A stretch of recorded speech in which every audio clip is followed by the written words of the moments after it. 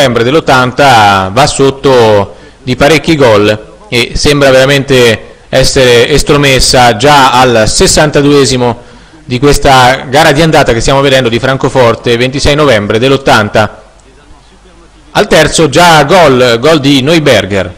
In vantaggio il uh, Forte Eintracht. 42esimo il gol di Brokers. 2-0 per l'Eintracht. Brokers. Secondo tempo 53esimo Olzenbein. Tapin.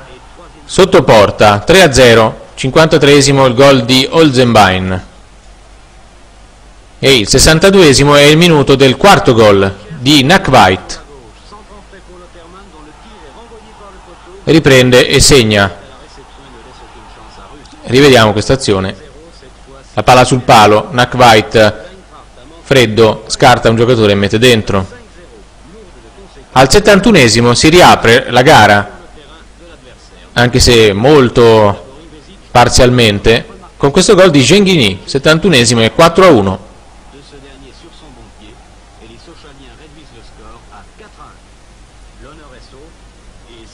ma non è finita qui perché